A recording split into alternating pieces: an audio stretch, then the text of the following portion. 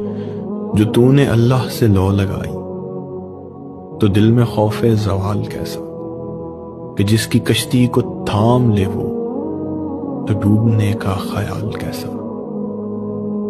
रहीम वो है, रहम भी उसका, अता भी उसकी, करम भी उसका।